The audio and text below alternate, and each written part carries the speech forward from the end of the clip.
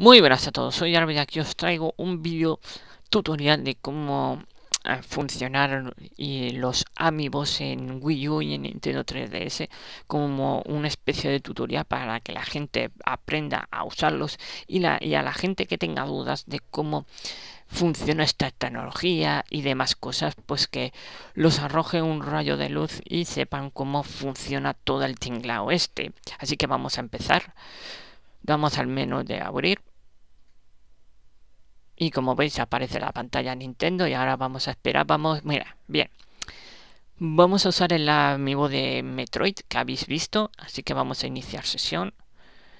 Y vamos a ir al tema de configuraciones y lo vamos a probar en un juego, es decir, en el Super Smash Bros. para que también vosotros sepáis cómo funciona. Mm, primero vamos a ir a la configuración de dentro de Nintendo para que veáis cómo se registra un amiibo y podemos cambiarle los datos y demás cosas y luego lo programaremos en un juego de cómo funciona con un juego. Bien, vamos a dar a comenzar la, configuración de la consola. Así que esperemos que tarde un poquito. A ver qué tal. La espera es un poco... Bien, vamos a ir a la tercera opción que veis ahí la, en la llave con una letra A que es la de los amigos y vamos a dar ahí a la teclita ajustes de amigos batamos. Bien y nos saldrán tres opciones. En la de registrar podi propietario borrar datos de los juegos y de formato una vivo. Así que nosotros nos interesa la primera la de arriba. Así que esta. Bien en los amigos tenemos que darlos en la circulito donde veis. Es decir, ese triángulo donde estoy poniendo ahora el amigo es ahí donde le tenéis que meter. Y como yo le tengo registrado, pues te saldrá el, eh, los datos del amigo, el nick que tiene o el apodo que le pusiste. Y le puedes eh, modificar el nombre, el introducir otro apodo y guardar esa configuración si has modificado algo. Bien. Como damos a guardar, si hemos cuidado y tenemos que volver a poner otra vez el amigo en el esto y una vez ese dato pues ya se, se registra como estáis viendo. Se ha registrado tanto. Bien. Ya se ha guardado. Ahora vamos a ir a, mm, al Super Smash Bros al juego. Vamos a entrar dentro, le vamos a registrar, y vamos a jugar un segundo con él para que veáis cómo funciona después de registrar el amiibo. Así que vamos a esperar que cargue el menú de Wii U. Bien, esperemos. Esperamos. Bien, ya está ahí el logo de Super Smash Bros. Y vamos a darle a comenzar el audio del juego no le veis porque es grabado con una cámara. Así que tampoco el audio del juego mola o, interesa ahora, mejor dicho. Bien, empezamos. Bien, ya estamos dentro.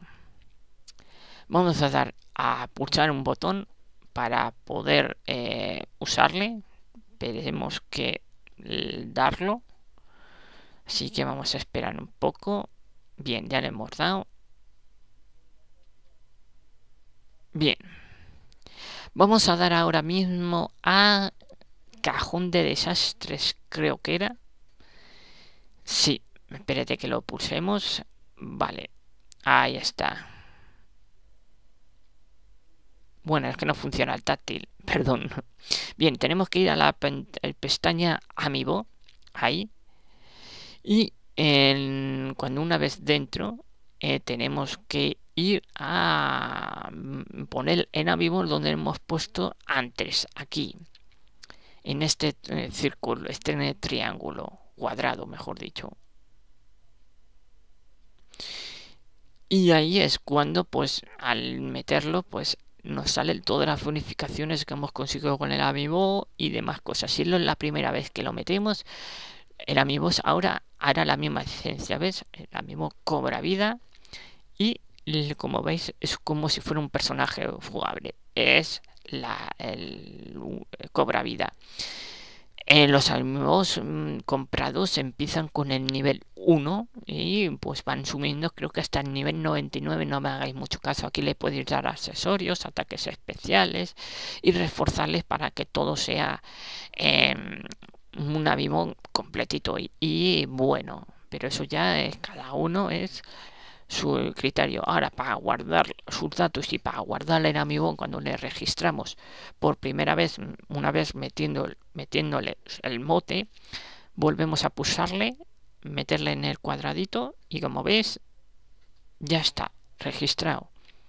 Bien, ahora vamos a dar marcha atrás. Espérate que vamos a que demos marcha atrás. Un momento.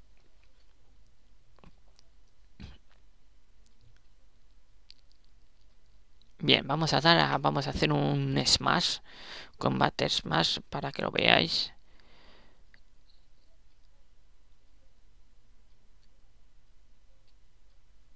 Bien, vamos a leer, vamos a ver, para registrar el amigo tenéis que meterle donde hemos puesto aquí y ya está. Fijo, luego ya si queréis un personaje nosotros elegiremos uno y podemos registrar pues cuatro amigos. Podemos meter que esos cuatro personajes sean, sean un amigos bien elegimos un escenario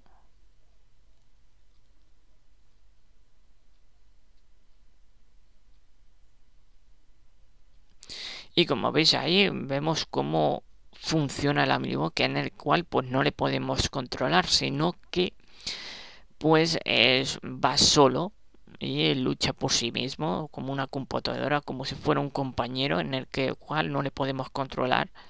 Por lo tanto, ahí está el tema. Y eh, ahí están los remedios. Tampoco vamos a dar mucha dilación. Así que vamos a empezar con la Nintendo 3DS. Bien, es la New Nintendo 3DS, perdón, la última que han sacado, que, tiene funcionalidad para los amigos.